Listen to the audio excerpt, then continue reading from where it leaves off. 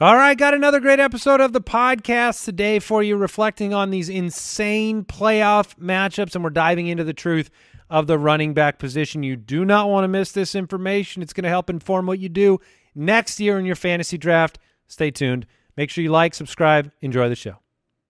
This new year, focus on what's truly important to you and let HelloFresh take care of dinner with fresh, pre-portioned ingredients and recipes delivered straight to your door. Get 16 free meals plus three free gifts with the code footballer16 at hellofresh.com slash footballer16. We also want to thank Indochino for supporting the show. Look, every year, maybe you've got that style edit you want to do. Maybe you find that new pair of shoes that you like and you get it Enhance. enhance. You want to let Indochino take care of your 2022 style edit, Jason.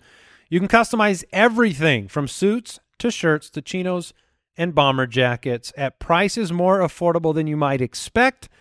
We've all had the privilege of going through the buying experience with Indochino, and it is a privilege because I love it's my suits. so easy to do, and we're all look. I'm I'm going to say it in an unflattering way. We're all misshapen. We're we're not all the same. That's true. We're all different. We've got uh, different. I got longer arms than you do. yeah, I got bigger bellies than you do. Right. Everybody's different, Jason. And uh, what's cool is they have custom fitted suits, shirts, casual wear. Um, you can do. Uh, you can go into their showroom and get measured, or you can do it at home, and it all fits perfectly. That is the key. They start uh, their suits start at 429 shirts from $79 with all the customizations included. Give yourself a style edit and set the tone for the rest of the year with Indochino. Get $50 off any purchase of $3.99 or more by using the promo code footballers at indochino.com. That's $50 off a purchase of $3.99 or more at I-N-D-O-C-H-I-N-O dot com. Promo code footballers.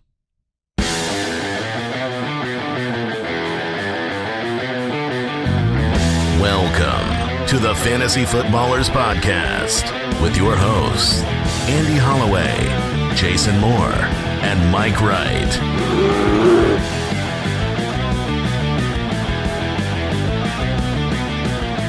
Ah, welcome in.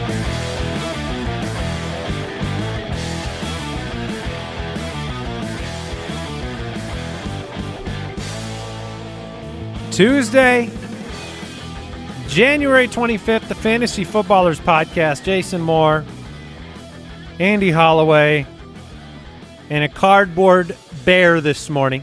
Cardboard bear extraordinaire, Jay Grizz in the house. Very happy, Jay Grizz. Jay Grizz is very happy? Yes, yes. Why is why is this? Because the Packers are out. Ah. And if I know anything about Bears fans, it's that they they no longer really live for their own victories. They live for the Packers' defeats. I believe that our in-house Packer fan lives for Packer victory. Um, how'd that go, Jeremy?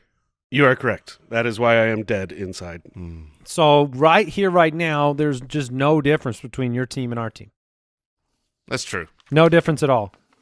There's a big difference. Is There's there? really no difference between you and the Bears now at this point. I guess there is a difference because they had one playoff game and they lost at home, and we had one and we lost on the road. Oh, that's true. So, So that's that's, a- less embarrassing. Okay. Also, we get a better draft pick. Right. uh, you can find us on Twitter at the FF Ballers, Instagram.com slash fantasy footballers. You can watch the show. You can see the uh, real life grizzly bear at youtube.com slash the fantasy footballers. Jason and I got it on lockdown today, and uh, it's going to be fun. We had the Crazy. best the best weekend of playoff football ever. So I take I, I take issue with that. Um, I don't think it was the best weekend of playoff football ever, but I understand the I understand like I I feel like uh, obviously the Bills Chiefs game was one of the best games of all time, and and so I like take that, cut that little beautiful slice of pie out, and then look at the rest of the pie. Oh, you mean the Tampa Bay twenty-seven to three comeback to the last second? What I'm talking about is the That's first, a good piece of pie too. the first three quarters of every other game was pretty boring. It was like 16 to 16, 10 to 10 in the other two games. The end was incredible. I think what you I think you're taking issue with the fact that the game doesn't end after the first, second, and third quarter. So they're probably less exciting for you on that regard. I'm just saying that it was not the world's best football, but every single game had the world's best ending. Um, in fact, I don't know if you know this, Andy. So the Vegas spreads total on this divisional round of the playoffs was a total spread of 15 and a half points, which was the lowest total across all four games of all time. So that's why we ended up with a 19-16 Bengals victory, a 13-10 49ers victory, a 30-27 Rams victory. Yeah, and it hit the under. It w the total spread uh, between all four games was 15 total points. Um, the, the games had incredible endings, and that Bills Chiefs game will go down in inf infamy. I Bills fans, I don't know how, I don't know how I would feel if I was a Bills fan. I don't know if you take any like positive moral victory away because you were so good, or if you're just purely devastated because you won the game. And then, well, and we we talked about this in the studio earlier, Jay. It, look, Joe Burrow could surprise us, but he's a young quarterback, a team that hasn't been there versus a veteran playoff team, and they were going to face a veteran Bills team or a veteran Chiefs team. This felt like maybe just taking the Super Bowl trophy away from Buffalo. And, you know, 13 seconds should be enough. You, if you score shouldn't with, be enough. well, yeah, Yes. exactly. You leaving only 30 se 13 seconds on the clock should have been enough to win. Squib kicked that ball, man. Why are you kicking it out of the end zone? Giving him a full 13. Incredible. And it, it brought up new comments from the NFL, the competition committee, saying they're likely to consider proposed changes to the overtime rules. This is how people get every time, maybe fairly, every time coin flip goes one direction, that, that team goes down and wins the game. Mhm. Um, obviously, you know, the the people that don't have a problem with it would say, "Hey, stop them, stop them on defense. Don't let them score a touchdown. Win the game in regulation. You don't have to deal with the overtime rules." The reality is, is it, it would be nice to. I, don't- I don't know what the solution is, but it would be nice to find something that uh, makes this more fair because I know the odds. If You you, win what- the coin flip, that team more often than not wins the game. Yeah, you know what the the solution is. Everybody knows what the solution is. I really feel like it's there's so many different ways we think about. Oh, you you make it a competition, or get the ball at the ten yard line, or or uh, Yeah, blah, blah blah blah blah. rules and How about and I not in the regular season, but just in the playoffs where you can't have a tie. How about you just add a quarter? that's what it goes to overtime. You add a quarter, and when that clock strikes zero, like Yeah. the normal game at the end of the fourth, who won? Yeah, and if it's tied, you add a quarter. That's just play. yeah, just and they play can be football. ten, they can be ten minute quarters. I don't. You don't have to have a full quarter. I agree with that. I think that's how it should be. Um, but it wasn't for the Bills, and they couldn't stop Travis Kelce and Patrick Mahomes, which is something many folks have said. so real quick, let's just call it. Uh, we both have Kansas City beating the Bengals. Nothing against Bengals fans, Yep. but you laid that out well. Yep. Um, in the other game, the 49ers will be taking on the Los Angeles Rams in a battle of the NFC West for the NFC champion. Who do you have winning that matchup? Kyle Shanahan has owned Sean McVay over the course of their head-to-head career. The early sportsbook line, by the way, Kansas City minus seven and a 53 and a half point over under, and then the Rams are three and a half point favorites. Um, I know the storylines are there, and the 49ers could definitely muscle out a win. I don't think they can keep up with what Cooper Matthew Kupp Stafford can and do. Cooper Cup can do. So I do think I'll take the Rams in that one. I think they'll end up um, making it to the Super Bowl, and I think we'll get Chiefs Rams, which will be That would be fun, man. pretty exciting. More fun than the Niners. So who do you- do you agree with I, that? I do agree. I, I think that the Rams come out on top despite the the head-to-head, uh, you know, in-season record. Get ready for Bengals 49ers Super Bowl then. Absolutely. All right, a uh, couple bits of news to get into before it is a truth episode. So we are getting into the running backs today, talking about the truth of the top 10 running backs and were they consistent for your team? This year was very different. So Yeah. getting a grasp on the position as a whole and these top guys and some names that are missing is I think pretty important going into this offseason. Not different in the fact that we don't get to talk about Christian McCaffrey on the show again. No, that, that's the same as last year, but he did win a footy um, in back-to-back years for the exact same award, which is Now, is that in the mail for him? oh yeah, it's still in it's still in the mail. It's very heavy. All right, uh, news for you: Jameis Winston knee surgery could be sidelined into training camp. Have you heard the uh, Sean Sean, Payton? Payton, Yeah. stuff? They're not sure. What he is his, not committed for 2022. is he not under contract, or is he just saying like I might just bail on the I- contract? I don't know. I mean, uh, so that that's something to watch for because this if Jameis Winston can't come back, and obviously you had the late season injury to Taysom Hill, if Sean Payton leaves as well, you're going to have a a messy situation there. He's on. that's He's probably under a contract. Yeah, he's under contract through to 2024 at 9.8 million a year. Rob Gronkowski said he would consider returning to the Bucs even if Tom Brady retired. Even I think he's been quoted as saying before, like I would never play for another quarterback. Um, yeah. So I, I mean, a bunch of coaches are getting interviews right now. We do a coaching changes show over the offseason, letting you know implications for you know. I think the big name out there, Brian Daboll of the Buffalo Bills, is going to be finding he'll be getting a head coaching job someplace. Yeah, I don't I don't know how he doesn't, and um, sadly, it won't be the Arizona Cardinals. Uh, and so a bunch of that news is going on, but we're not going to speculate on who's going where just yet. Any other news you have? Uh, no other news, just uh, head coach speculation, like the fact that Nathaniel Hackett should probably go to the Broncos so that he can stay with uh, Aaron Rodgers. yeah, that see that you asked me earlier today. We can talk about that. You asked me, did my opinion change on my confidence level that Aaron Rodgers returns to the Packers?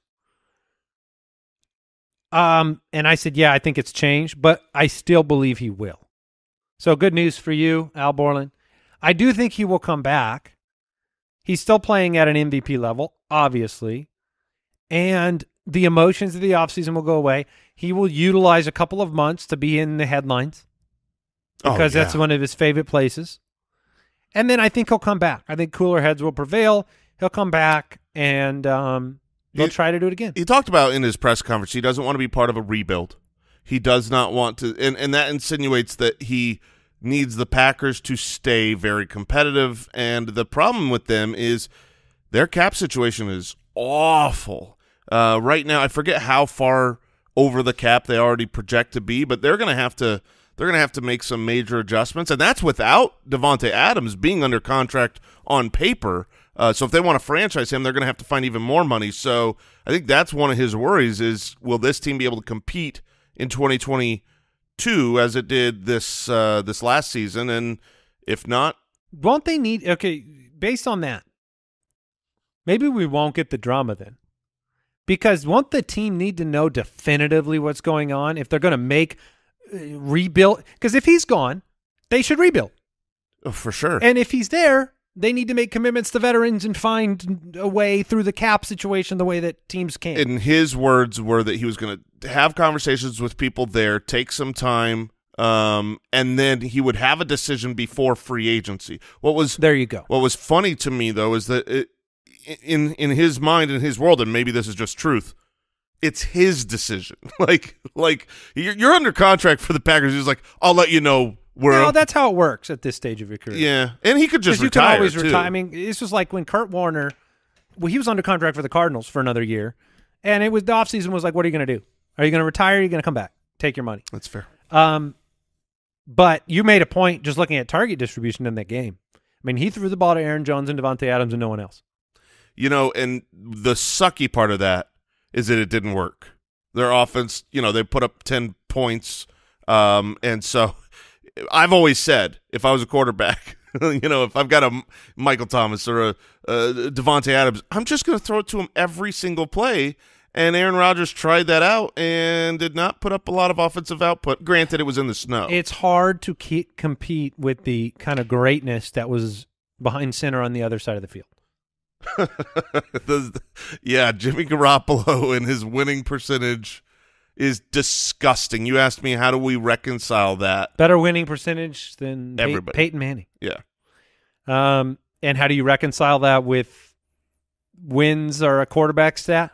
Yeah, you have to say this is a team game with What- that stat.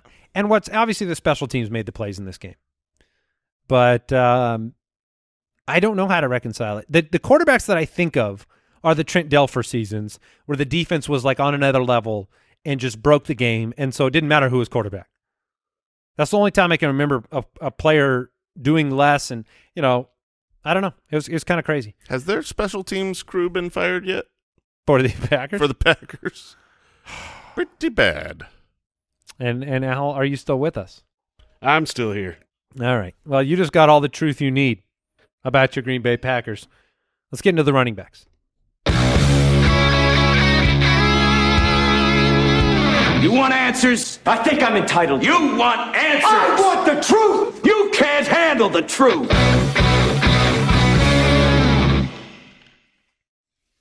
Uh, when's the last time you've watched that movie? Oh gosh, it's been A Few Good Men. fifteen years, ten years. tw- I don't know. Do you Well- remember it? I remember it. Yeah, Yeah, it's a great movie. it's a little overrated. No, it's not. I, I'm not saying. Don't hear what I'm not saying. I'm not saying it's a bad movie. I'd ask Al, but I know he hasn't seen it. I've seen it and it is great. yeah, it's a great movie. It's a very good movie. It I'm still just holds saying. up. I'm just saying it's a little overrated because that one scene is so great and classic you that just have to have a take on everything, don't you? it's my job. You just got to have a It's take. my job. Um, all right. There is a great running back article by Matt DeSorbo up on the website 25 running back statistics from 2021. If you want to further deep dive the running back position after the show, I encourage you to go check that out. Very interesting stats. You talked about the running back position being different this year. The top 12 running backs for this past season Mm-hmm. averaged 14.2 fantasy points per game Gross. which is the second lowest mark in the past two decades. That would be 20 years if you're listening at home. Injuries to Christian McCaffrey again, Derrick Henry, Dalvin Cook, Alvin Kamara, they didn't help the situation, right? Because points per game wise, those guys were not at 14.2 points per game. They were going to swing the the average uh, northward if they weren't hurt. Right, but they didn't make it into the top twelve. Um, at least you know, at least Christian McCaffrey and Derrick Henry. So it's one of those where your top running backs this year disappointed.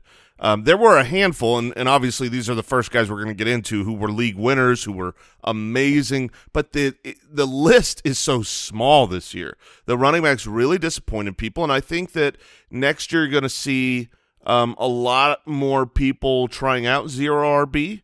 Um, it, it worked swimmingly this season, um, but if you if you take a you know a wide enough viewpoint, I don't I don't think that um, we should overreact to one season of massive injuries versus um, you know we we talk about every single year the bust rate of running backs in the first, the bust rate of wide receivers in the first. It's slightly higher for running backs over wide receivers, but it's not that big a difference.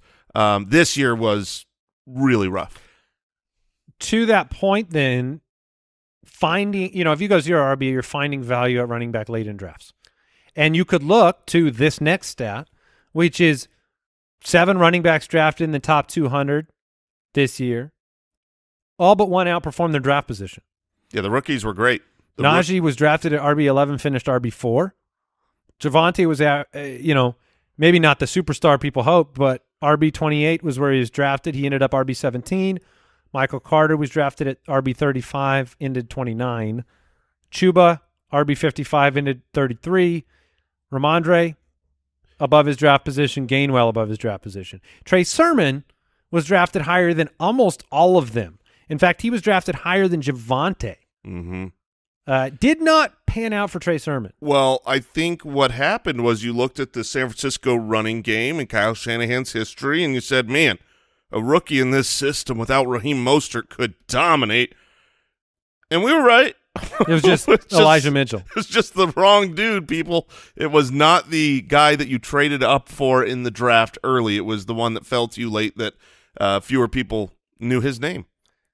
Yeah, it is the the San Francisco running back situation. Here, here's a prediction for you for 2022. We're not going to know what to do. I predict we won't know because it just ends up murky every year. All right, uh, truth data. Let's start at the running back one with Jonathan Taylor. By the way, we we're looking at consistency of the running back position. Great games. You're looking at a running back performance over 21 points. Good games, we're defining that as 11 or more. Bust games, fewer than seven points. Jonathan Taylor won the footy for the running back of the year. Number one in total points. Number two in consistency, which might surprise people. Um, 332 carries, 1,811 yards, 18 touchdowns. Yeah, I mean uh, the the consistency. If you remember the very beginning of the year, people that were the anti Jonathan Taylors were victory lapping. Right, you go into week three, and he had three. He had one mediocre week and two bad weeks, uh, and it looked like he was not going to be the dude that everyone dreamed him to be. And then he was the dude, and he was unstoppable the rest of the way. Never finished outside the top twenty-four. Almost almost never finished outside the top 12 at the position. He was as consistent as it got from that point on. So it was really the the first three weeks of the season where, if you remember, the Colts sucked. They were, I think, one and four to start the year, and then they got it together. They figured it out, and I think what they figured out is Jonathan Taylor is bigger and stronger and faster than most NFL people give him the ball a lot, and that's why he was, you know, mentioned in NFL MVP consideration. Um, going forward next year, I think you have to assume more of the same. Well, they I think what you saw was a team finally committing lots of opportunities to him, and that that was a pathway to victory.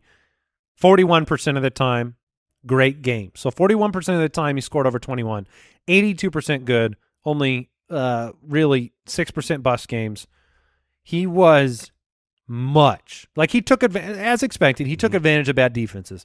Ten points better against bottom sixteen defenses than he was against top sixteen, but he still averaged more than that top 12 average against those good defenses. Yeah. And yeah, he's going to be I think he'll be drafted the number 1. I agree. I, But I, don't know if he will be worth it. I think he will. I, I, I do. I, you know, would Derrick Henry over the last couple of years been worth that number one pick uh, other than Sure, the injury sure, this year? Yeah, absolutely. And I, I think that Let me rephrase that. I don't think he necessarily has to be. sure. That's what I mean. Is yeah. I think there are a couple names that you could put into contention, but I think he will be the number one. Yeah, if if I have the one on one, it will be Jonathan Taylor that I'm picking. I think that they've found their identity in him, and that is what is important. It's the opportunities for the you know, you talk about i- is it talent, is it opportunity? Opportunity is more important. Well, you don't get much more talented than Jonathan Taylor. And now you don't get more opportunity than he's getting. So he is the one on one. There are, uh, you know, 18 rushing touchdowns, the most red zone rushing attempts in the history of the NFL. Wow. Eighty nine red So- zone rushing attempts. If you want to, con- if you want to talk about things that do fluctuate, you know, 18 touchdowns is not a number that is easy to hit over and over again. And maybe you view him through the lens of like, okay, 15 is a foregone conclusion, and that's okay. But that those are numbers that can fluctuate. Absolutely. I, I think 10 is a foregone conclusion. Double digit touchdowns, that's a guarantee if he plays. And so that that's a good enough baseline for me to know that a guy who could lead the league in yardage, who is involved in the passing game and obviously has a touchdown upside is is awesome. Here's a crazy stat because it could have been more. Per Matt DeSorbo in the article, 18 different drives where he was tackled on a rushing play inside the five where he did not score on that drive. 18. So 18 more almost 36, touchdowns. 36 rushing touchdowns if they all come to fruition. That's, That's crazy. Pretty good. Yeah, and that you know, he should quarterback situation in Indianapolis. Does that change the equation at all? It would change the equation. Yeah, he's not going to be as good without Carson Wentz there if they pivot. I do not expect them to be able to pivot. I know they want to, but you can want to change your quarterback. It's not easy to just go and find someone off the street that's better than what you have. Are you saying they're in bed with Carson Wentz right now? I am saying that they don't that they don't want to be and that they are. Yeah. Okay. Speaking of that, we want to thank Helix Sleep for today. oh, I see what you did. That's a comfy bed. for supporting today's show. Oh boy, that was that was a rough one. Um, look, you, do, do you sleep on a saggy old mattress? No, I've got a Helix mattress. Okay, all right. I'm talking more to the people out Oh, there okay. because I'm sure some people. There was a uh, a pickleball plan this weekend. We're supposed to get out and play some pickleball, and then all of a sudden you find out that somebody hurt themselves sleeping, which is what you do once you're like over 30, I guess. And um, look, we want to tell you about Helix Sleep because you can get the best sleep of your life, and it's simple. You fill out a quiz, and everybody's different, and so your answers are going to be different, and then they match you with the right mattress because obviously people sleep differently. Jason, wh- are you a side sleeper? You a, I- bel- a belly sleeper? I am a back and side. Okay, I'm a pure side. Al, Okay. Side. side. Okay. So, I mean, if you sleep a different way, you probably need a different mattress. It's not one size fits all. Everyone's unique. Helix knows that. Different models, soft, medium, firm. Um, they, you know, maybe you sleep hot and you need that cool mattress. Maybe Maybe need a- you and your partner sleep differently. They they factor that in. Absolutely. So you fill out the quiz, and uh, bingo bango, you're matched with a mattress.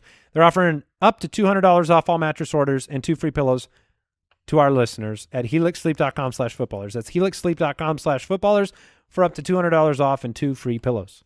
And don't forget about Fantasy Champs. If you have taken home the title this year and you want to get a championship ring, a trophy, a belt, get that swag, rub your friends' faces in your victory as you should, um, you go to fantasychamps.com and you you get all of the best gear. I mean, it literally is the best of the best stuff. I just received um, half of my orders because I ordered several times because Okay, I just kept right. wanting to add to it. I got the custom rings. I just got the shipping notification today. I thought maybe you were pre-ordering for next year and the year after. I mean, I could. I just well, I'm seven years in a row between our leagues. So here's what you do. Right now, they're giving a free championship ring. That's a fifty nine dollar like Super Bowl style ring. If you buy a trophy or a belt, add them both to the cart, and then use the promo code free ring at checkout, and the fifty nine dollar ring will reduce to zero dollars just like that at fantasychamps.com. Check it out.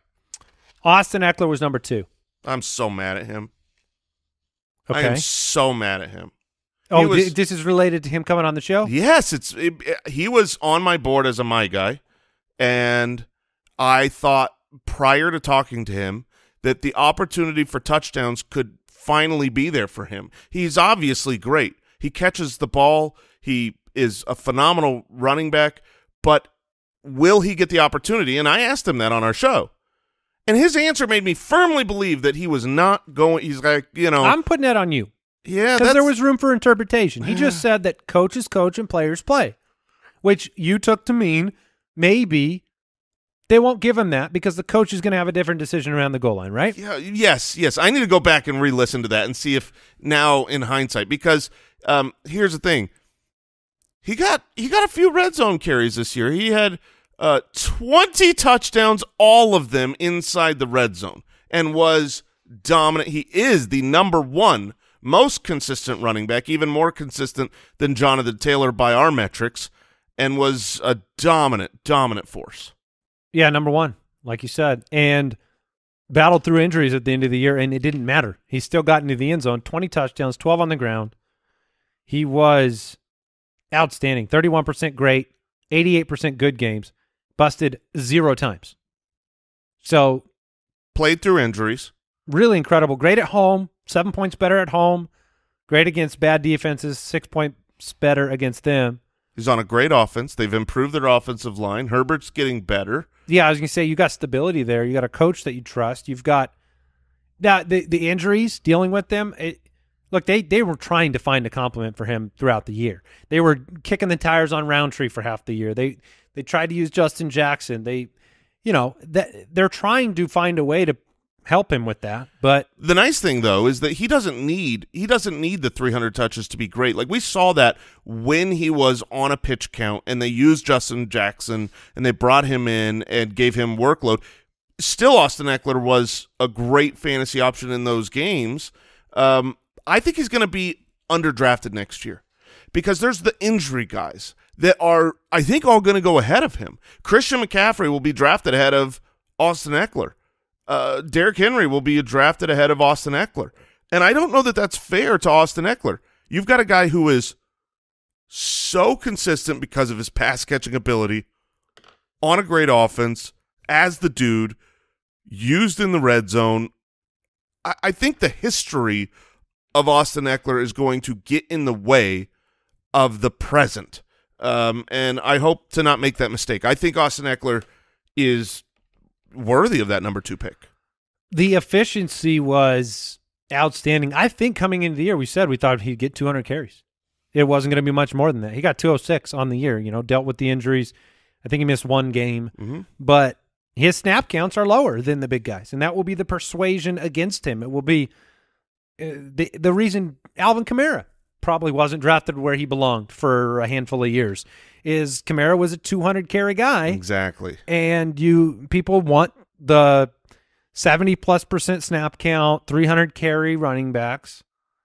And so I you know, Jonathan Taylor's going to go ahead of him. Yes. And he should. But I think there'll be three or four or five guys that also go ahead of him. I mean, I think you're going to have uh, Christian McCaffrey, Derrick Henry go ahead of him. I think you could have Alvin Kamara go ahead of him, which is a great comp because they're very, very similar in their utilization and their talent. But one of them is on a really good offense, and one of them is on an offense that's dying. Wouldn't you rather have Austin Ekeler over Alvin Kamara? Yes. So it, it'll it'll be interesting to see the ADP next year, but we'll do our best to make sure he gets the respect he deserves. All right, Joe Mixon coming in at number 3. Number 7 in consistency. And that meant 44% great games, which was I believe higher than Austin Ekeler. 63% good, 6% bust. 1200 yards, 13 rushing touchdowns. You can make the same compelling argument about Joe Mixon in the offense and Joe Burrow and the in the consistency there that you could make for Austin Ekeler. Yeah, and he actually will probably touch the ball more. He is more of that. Um, you know, he's not going to be a 300 200 carries, carry yeah. guy. Um, so Joe Mixon will be in consideration. I wonder how much Joe it had a really confusing season because even though he's the running back three, you you said it, he was consistency rank only seven, and 12th in the second half of the year the, too. the first month wasn't great for him. And then when he got just caught fire, he let everyone down in the fantasy playoffs. And I think those people who had him are probably mad at him. The you get in the playoffs and he has his worst game of the entire season. And I think people went into the season feeling that way about Joe Mixon anyways. There was a lot of the no I'm not I'm not doing it with Joe Mixon again camp going into the draft. So I think it'll be interesting to see where he goes. We were trying to kind of we were throwing out names in the first round, running backs, you know, and it took a second to get to Joe, even though he finished at number three. Yeah, I'm I'm I'm curious what you value him in dynasty because he's 25 years old right now. He has 3 more years under contract, but we've seen these second contract running backs fall off a cliff at some point, but he's tied to this great offense, this up and coming and and I would have to imagine please Cincinnati, your focus is your offensive line. That is your focus this offseason. And I'm not talking about in the draft. I'm talking about go pay up for whoever the best free agent guard is, the best free agent tackle. You have tons of cap space. You didn't like nine sacks for Joe Burrow in this last game? no, go protect him. Don't do what the Colts did with Andrew Luck. Don't make Joe Burrow retire in five years. Just go protect him. And if that happens, that's great news for Joe Two Mixon. more peak years.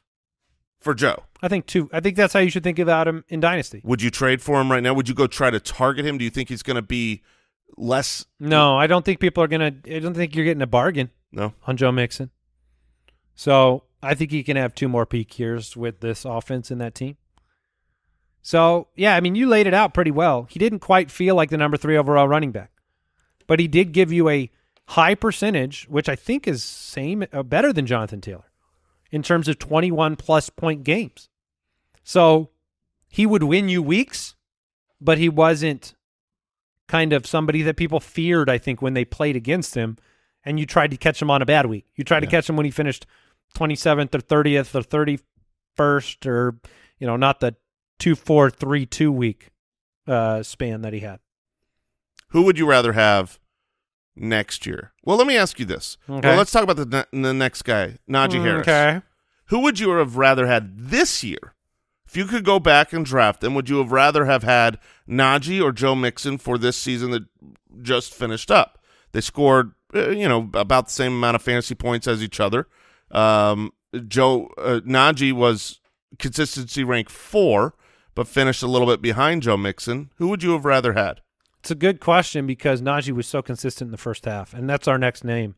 He was number two in consistency over the first half of the year, which I mean that's when you're making your you're establishing yourself for the playoffs, but then became less consistent over the back half. I think it's Joe Mixon by a hair, just because the I, I want the. I mean, did Najee ever finish inside the top five on a given week until Yeah. yes week fourteen? So Week three, he was Okay, running back three, five. yeah. Week 14, he was running back four. And week 17, he was running back two. So he did have a couple. But um, his obviously, if you're in a full PPR league, it's it's Najee for sure. You're talking about 74 receptions Right. on 94 targets. right, The real question to me, because he was as good as any running back this year, so consistent. What happens without Big Ben? Big Ben, you know, just It was the Philip Rivers uh, dump off situation. It was the Eli Manning dump offs to Saquon Barkley. exactly. Um, no, it's a it's a huge issue. That whole team, they're going to need to find a new identity. In turn, you know, they don't. They're talking about giving the first round tender to Dwayne Haskins. So that's where they're at. You don't need to do that, Pittsburgh. Yeah, I mean that's that's where the the Steelers are at, and it will make a difference. But you said this on the show last week. You kind of saw the worst you can you can get offensively for this team, or so we thought. And this was if this is the worst it gets, then Najee's pretty good. So I think in a half point, I'd be Joe by a little bit for that stretch in the middle of the year where he absolutely won games for you. But he was good against, you know, he's the first running back we've talked about that was equally good against good and bad defenses. So When same, same the- amount of points. When you touch the ball almost 400 times, you're going to be consistent. It doesn't matter if you're inefficient.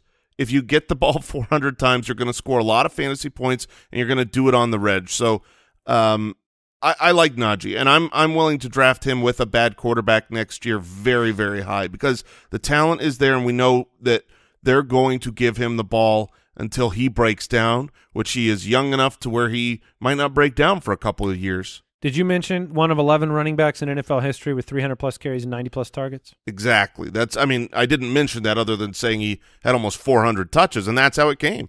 I mean, when you can get 90 targets, um, you know that this year was like the first year there was no hundred target running back Wow. this year, which is pretty surprising. Obviously, Christian McCaffrey going down hurt that uh, quite a bit. You bit. you wonder though if this will be one of those things where this is his peak touches ever in a season. Do you think the dependency on him was so high this year that this will be the most we see? It's hard to tell because I don't know how you could be less dependent on him next year. I feel like Right. it's going to be more of the same next year. And What about it? What about if the Muth gets Luth? Oh, the Muth is just going to Couldn't take. he steal some? He could he could steal a little bit of work, but I think you, you need people to step up, and you need the Steelers to get better on offense for Najee to get better. I don't expect them to, but I think Najee does more of the same next year. And even with Dwayne Haskins or Mason Rudolph, I will still draft Najee with with pretty much full confidence because their offense was bad this year, and he was great. Yeah. If he if the target totals don't stay that high and they're equally bad, he will drop down a tier. Certainly. Only four running backs have led the NFL in touches as a rookie. Eric Dickerson, Edgerrin James, LT, and Najee. That is quite the list. James Conner comes in at number five, consistency rank of eight, but that consistency rank over the second half of the year was three. But he missed some games. So, I mean, you're talking about a stretch of what, like six games there? He just kept scoring 752 yards rushing on 200 carries, but 15 touchdowns on the ground, three through the air. I mean, he was better when they played a great defense. He just found the end zone, and I think he showed a lot of people that he had something. You know, he, he had something to prove it eh, coming into the year, and he proved it. Yeah, and now he's going to make money. it seemed like James Conner was past his prime. Obviously, coming into age 26, usually for fantasy purposes, and this would obviously translate for NFL GMs and real football, running backs peak around 24 years old. That doesn't mean that they're dead by 26, but their peak is about 24 years old. And we saw that with James Conner coming in 26. I think people assumed the injuries had kind of caught up with him too much and he was a little bit washed. He had power, he had speed, he had vi- he had Most everything that tackles of his career. I mean, he was he was unbelievable. And Number one in pass blocking. you get down near the goal line and it's he's a touchdown machine. When Chase Edmonds went down in week 9, that was when the opportunity was really given to him by the Cardinals to be the dude and he dominated. So, obviously for future um, purposes, there's two things here. One is where's he going to be? Uh, wherever he goes, you know he still has juice left. If he's if he goes to a different team, we cannot view him the way that we viewed him coming into this season, which was he doesn't really have it left. I think you've got to give him the benefit of the doubt. But also the other thing is the starting running back for the Arizona Cardinals is a very valuable role. So if he leaves, and I believe Chase Edmonds is uh, not under contract Conner as well. and Edmonds are probably two of the top five free agent running backs. Yeah, and it, it's possible. Like if Arizona were to go out and spend a second round draft pick on a running back or something, it, bring in Breece Hall. This would be a really valuable situation because they do around the goal line give it to the running back right up the middle, and you know you've seen a lot of touchdowns from Kenyon Drake and James Conner in the last two years. I think it is more likely that James Conner is back with Arizona than it is that Chase Edmonds is back. I would agree. Let's say he's back, Chase is gone. They bring up Eno or they draft a Yeah. six round running back. What do you do with him in the draft next year? How high? Because he was the running back five. I think I think it would be he'd be a running back eight to twelve. so back of the first. I, I would lower him second? compared to his finish. Would you would you do that? I mean, twenty percent great game, sixty seven percent good, thirteen percent bust. I, th- Um, I think I would have him in the first round because in the first round. So in the- not you're not talking about top twelve. Yeah, if you look at what happened the He'd be first, so scary. it would be so scary. Uh, that wouldn't be a confident draft pick. But if you look at what happened with him the first six weeks of the season when he didn't, he wasn't the really the guy. He was the running back 44, 60, 12, 8, 31, and 32. You know, he wa- he wasn't given that No, it's- opportunity. It's fair. Once he got it, he was just so dominant. So if he has it for a full season, I mean, you've got injury risk with him, and maybe he won't hold up. But he he he he had 15 touchdowns on the ground, three more through the air, and he was limited the first half of the season. Second most goal line carries in the league, adding to your point about Arizona's running game. Zeke, oh, Zeke, what a bad year. Finished number six. 12th in consistency, though. Ninth in the first half, 20th in the second half. Played on a torn PCL. Did not give you prolific uh, finishes pretty much from week six on. You Your highest finish for Zeke from week six on was eight overall against Atlanta. He had a number 10 and number 10 finish in back to back weeks in weeks 15 and 16. But if he was your running back in the championship game, it was a huge dud against Arizona. He was better against better defenses, better at home. And, you know, the RB6, that's not how he felt, and that's not what you got, really. Well, it's it's skewed because of the injuries to the top guys. You know, Alvin Kamara and Christian McCaffrey and Derrick Henry and you know they. But he would've- wasn't graded on a curve this year. No, I'm just saying that, that you know on a per game basis they were stronger. So if everyone was healthy, like Zeke is the running back six because he was healthy and or played through injury, Sure. you could say if he wasn't necessarily healthy. But he was obviously disappointing. The utilization of Tony Pollard is not going away. Um, he might be their best running back now. And you know after the first five weeks of the season, he didn't put up 20 points the rest of the way, not one time in half point scoring he's obviously under a massive contract. His contract is he's owed a lot of money for a lot of years. Tony Pollard really doesn't concern me with Zeke. Why?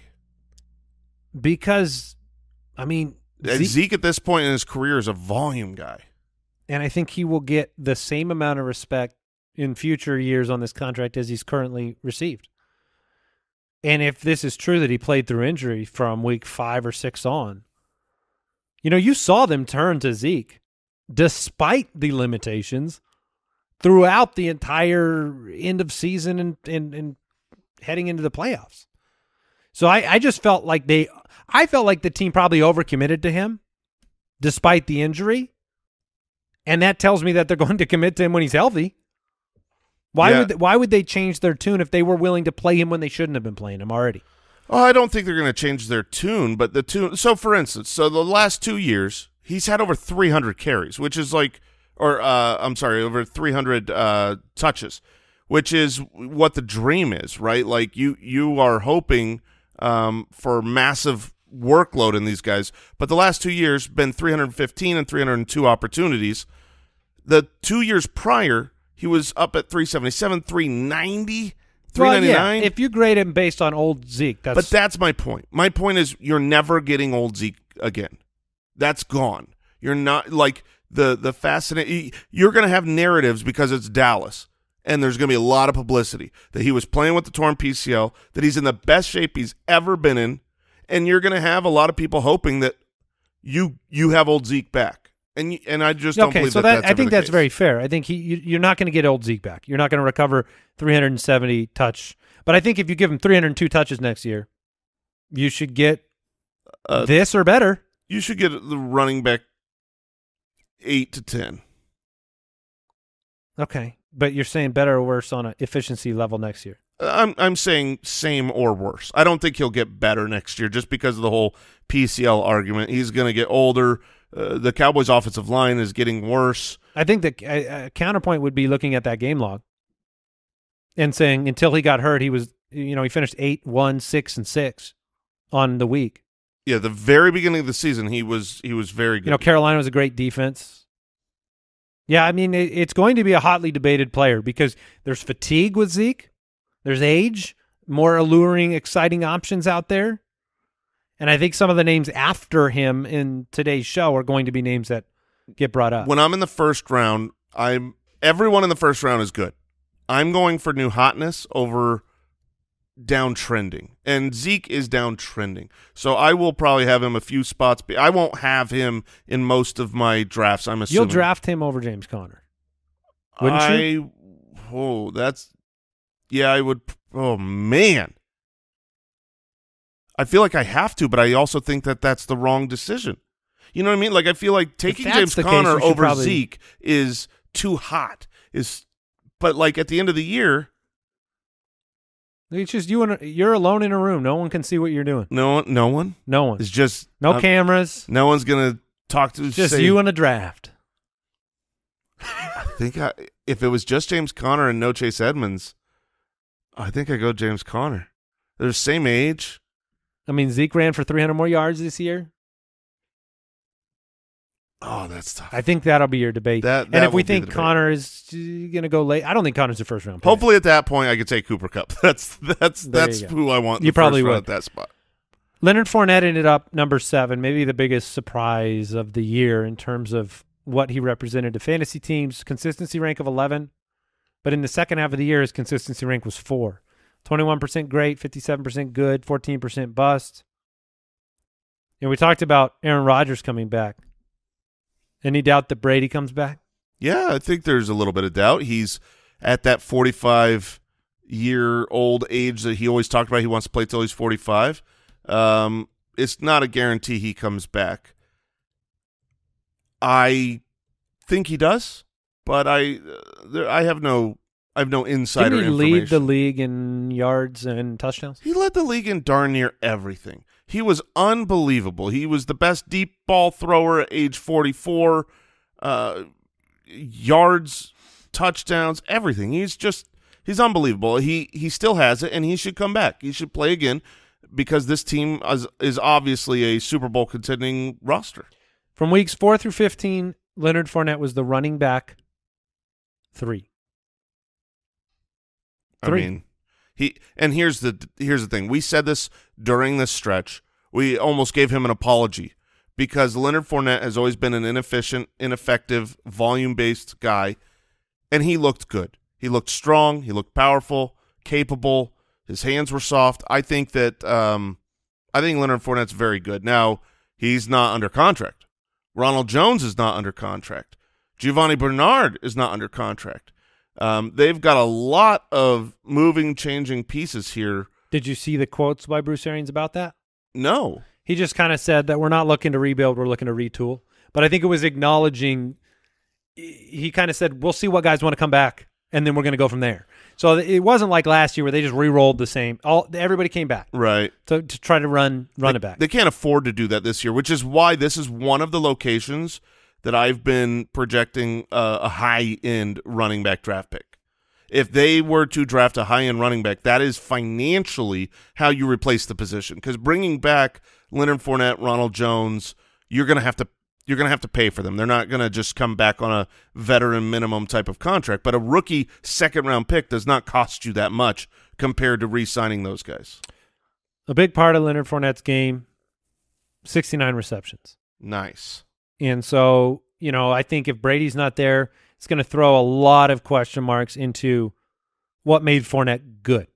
if Brady's not there, Fournette will be drafted darn near where he was, which was running back 40 in the eighth round. Right? Uh, the success of the Buccaneers is Tom Brady. My question is if Tom Brady walks away, is Bruce Arians still a coach? I wouldn't be if I was him. He he walked away from Arizona when Kurt Warner left. He's like, yeah, thanks, no thanks. I, know, and he's already committed to coming back. So it's I think Brady's back. yeah, I think the emotions will wear off, and he'll be realizing how good he still is, and we'll get a year forty five Tom Brady. Oh, year 45, that would be great. I see. Not just age Well, 45, age, yeah. but like forty-five year years. Yeah, in the league. Let's go. All right, we've got number eight, Alvin Kamara. Alvin Kamara. What is the story of his season? What is the truth of Alvin Kamara? Sixth in consistency, eighth in fantasy finish, 23% great games, 77% good. And we got to see Drew Brees depart and tried to watch this offense function. Yeah, it it was it was okay with Jameis Winston, and then it was mediocre with Taysom Hill. Injury. Um, in yep, injury happened, and then I believe you had a couple of horrific weeks um, later in the season against Tampa Bay where they were shut out. I think the following week in Week 16 against Miami was that where they had no quarterback. Oh, they were onto their umpteenth string. Oh, you're talking about the uh, Ian Book? yes, the the, E- the Ian. Did Book you see how my uh, canvas print of that Ian Book interception came in? Ah, I didn't. Where is it? It's in my office. Oh, boy. You can come see it out. All right. It's not. I'll, I'll be honest though. I got it and opened it the day after I got eliminated with the Dalvin Cook play. So it really just. I was expecting to get that and that to be iconic in my championship, and it just it fell flat. you know who would have won that matchup? Not the Packers. Me. Oh, okay. Yeah. Would you have? You would have Oh yeah. won the he, he would have won the title if he could have. Yep. oh man, Which all came down to what? What player could you have played in one? Amon-Ra St. Brown. Correct. So have you thought? Have you rolled that one over on a few sleepless nights? Sure have. yeah, that's tough. Um, so what is the truth of Alvin Kamara? We just talked about how his uh, consistency ranking was actually pretty darn good. He was the sixth best uh, running back in consistency metrics, and if you look at his fantasy finishes, most of the time he was a good running back. You had several, several top 10 performances, um, several RB1 performances. You just had that month stretch in the middle of the season when he had the knee injury that really derailed things, along with that two game stretch of uh, terribleness with no quarterback and, and issues there. So do you end up drafting value Kamara? I do, yeah. I would take Kamara over over Zeke, no problem. If that's like a debate, if let's say sh- even if Sean Payton leaves or whatever happens there, nothing on the field. I never looked at Alvin Kamara and saw anything other than a dominant running back who was hard to tackle, who was quick to the edge. He didn't look like he had lost a step. Obviously, the offense was pretty putrid. Um, the uh, the scoring opportunities will be less, um, which they were this year. I don't think he's going to be a top three running back, but I mean, it, even this season, he was pretty much on pace for that. He just missed a month of the season. He was he was on pace for almost 1,200 rushing yards, another 600 receiving yards. That's awesome. He had as many 15 plus yard runs as Zeke did this year. in fewer games. Yeah. Um, kind of a year where maybe as a fantasy player you put the all the externals away and you go back to the go back to leaning on Alvin Kamara again next year. Well, I, I think they have to. Uh, obviously, he's not built for the workload. They had a big problem this year with the backup running back position. They let Latavius Murray go because they thought Tony Tony James Jones Brooks Jr. would Okay. would be a good backup, and then he got injured, and then they brought back eventually Mark Ingram, and that kind of healed it. But what they do with the backup running back, or even just running back at all, I think will be really interesting this year because they need to bring in another serviceable guy. Offensive line got worse. Four different quarterbacks. We talked about it. Um, but the, you know, they were ranked the fourth preseason uh, offensive line by Pro Football Focus. Ended up 18. So that doesn't help when you're making a quarterback transition to not have the same level of protection and blocking. Cordarrelle Patterson ended up number nine. He was the waiver wire wonder, footy award winner. That's crazy. He's the RB nine. Yeah, I mean, and he was the number one in the first half in consistency. Ended up 14th in consistency. So, how bad was that? That was real bad. It was 32nd in consistency in the second half. Basically, what you should have done with Cordarrelle Patterson, genuinely, and maybe I would have. My season ends up different. Is you should have benched him pretty much. You probably should have benched him from the halfway point of the year. I think you should have traded him.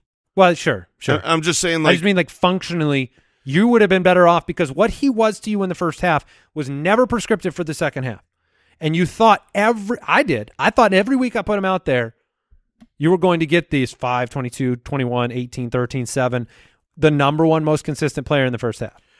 I think what it says to me is that when these guys come out of uh, an unexpected situation for first half of the year dominance, you should unload them. Remember how good Mike Davis was in relief of Christian McCaffrey? He was awesome.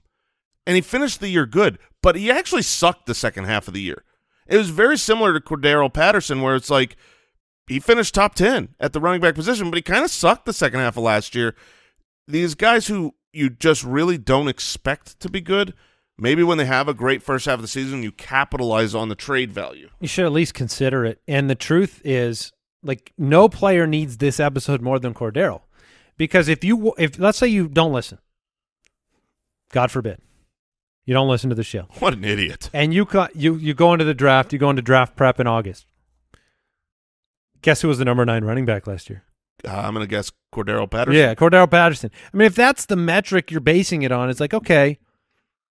I think we we would acknowledge based on the second half of the year, you know, if you had him, you know what went on. But if you didn't have him on your roster and you see number nine overall top ten finish, I don't know. That's what can be deceptive. Well, it's really a matter of uh, whether or not he returns to Atlanta. He's a free agent. Um, I think that they know that they need to fix the running back position, and they're going to go out and try to sign some guys or draft some guys. Whether or not he comes back, if they draft a running back and bring him back, which is what I think happens, I think he will re-sign because he's not going to have a better opportunity somewhere else. He became a fan favorite and clearly a an important weapon to the offense. If he comes back and they draft a third or fourth round rookie, what in the world do you do with Cordarrelle? What is He's the- nothing. That's how I view it too. It's the it's the right answer. Plus, they they're going to fix their wide receiver position, and by fix I mean yes, fix because what they had last year was completely broken. Kyle Pitts, fixed wide receiver core, complimentary running back. Everything changes for Cordarrelle. He'll he'll go back to being what he's been his whole career, which is uh, gadgetry. And I think that there will be a lot of players who draft Cordarrelle high, hoping to get what they saw for a stretch this year, finished as the running back nine. So if he does return to Atlanta, that's it's going to be a trap. What was so discouraging is that he was something that was working in the offense, and even then, once they got Russell Gage back, it was irrelevant. Yeah. They stopped throwing him the football. It's annoying. Antonio Gibson, number 10, finishing out today's show. Consistency of 19. He was a turd. Okay. He was an absolute turd for fantasy because I love Antonio Gibson. I absolutely think he's great. but he pretty much stunk the first half of the year. 30th in consistency. 30th in consistency, wasn't very good. Uh, he had three games as a top 24 running back. So just basically a good, just like serviceable, not like he won you a week on the first half of the year. And then what happened was he got more and more injured. And so you go, okay, this guy sucked for the whole first half of the year. And he's more injured. Yeah, you're going I into- can't rely on him. I'm not going to start him. I'm not going to play him. And That's that's, it- when he was good. So you're benching him, and then he's getting these really good performances where, you know, he had four top 10 performances in six weeks from weeks 10 through 15. And, and I, and every week was like, I can't play him, right? He's injured and he's sucked all season. So that's why I just mean he was like one of the hardest players to know what to do with, to make that decision. And hopefully you played him the second half of the year because he was very good the second half of the year. Um, but you went into every game going, ooh, is he even going to play this week? so what's the truth? What is the truth about Antonio Gibson? Because I think he's a phenomenal talent. I think the truth is he's a quarterback away from being what you want him to be. That's what I think. You know, you talk you talk about what made these guys great. You know, the reliability of Burrow with the Mixon prediction or Herbert with Ekeler's season. Gibson needs consistency on offense from the quarterback position to give you a shot. okay, so He could be a year away from the Jonathan Taylor year, where Nyheim Hines was stealing everything, and all of a sudden, J.D. McKissic falls away because Antonio. But he also has to stay healthy. Absolutely, I, That's I, the other I agree with everything you're saying. They if they are able to go and get a Kirk Cousins, Antonio Gibson will be a first rounder, and he'll be great. He'll be worth whatever pick you want to spend on him. But let's go with a more realistic type of free agent acquisition because I think Fitzmagic is done. I don't think Taylor Heinicke is. He is the answer to the question of who's bad at quarterback. Oh, I thought he was the answer to the question of who's my backup. Sure, that's a good that's a good backup. But let's say they go and they sign Mitchell Trubisky I'm not excited. or Marcus Mariota. So one of No. these guys who's who's a uh, they're going to come in and it's an upgrade from Taylor Heinicke. I would say Mitchell I don't Trubisky. know if either of those would be an upgrade. I think Mitchell Trubisky is an upgrade, and I'm obviously not a fan of Mitchell Trubisky. I think they'd be the same. I think you've got to give me a more compelling name than those guys. so if that's the case, then the truth is, The truth is, is you you're not going to be able to rely on him. yeah, That's what your summary was. Right. You can't rely on him. Uh, is he a great RB two to give you those big weeks when he scores? Sure. He had ten touchdowns again. He found the end zone a bunch last year. That's what got him as high in the rankings as he did, as he was. And then this year he still ended up with ten touchdowns while being banged up. I mean, he fumbled, he got hurt, he was inconsistent. So the truth of Antonio Gibson is, you're still waiting. if Sean Payton signs Mitchell Trubisky, sorry, what? Sean is- Payton. Yeah, he goes to the Saints. Is he a good fantasy option? That is No, just I mean, it's just- fascinating to me. I think it would be identical to how you viewed Jameis Winston, he was decent for fantasy. which I don't know if they want to go back to the retread. I mean, that you're naming retread court. Jameis Winston, former top pick. Mitchell Trubisky, former top pick. Mhm. Marcus Mariota, former top pick. Here's a little spoiler alert. They don't get it back. They don't figure it out. They never had it, so you can't get it back. Okay, yeah. That's fair. I guess get it back. I was thinking about Carson Wentz being a top pick that Sure. But um, yeah, I, it look quarterbacks, man, you kind of need them. Kind of a big deal. I, I think if I were Sean Payton, I didn't have one, I might walk away too. Last week was last year was painful. Yeah, I think that is one of my biggest takeaways from this year is, uh, you know, and I've always believed this, always done this, but it, to different degrees based on almost recency bias. But I need to remember more and more that I'm willing to be, I'm willing to draft the, the potentially wrong player by avoiding these bad quarterback-led teams. I just don't want to tussle with bad quarterback play. Right, which is another way of saying drafting players from good teams is a general is a nice tie breaking principle for almost everything you do in fantasy. Because you want to be eh, with opportunities. Yeah, I but I I think it's even more than a tiebreaker. I think it pushes people up from from below to above. Like I will move down and draft someone on a better team than someone ADP higher on a bad team. Yeah, I agree. All right, we are done for today, but never fear. We have another episode on Thursday breaking down the next group of running backs, finding out the truth. We also have a footcast on Thursday. You can find that at jointhefoot.com. Goodbye, everybody.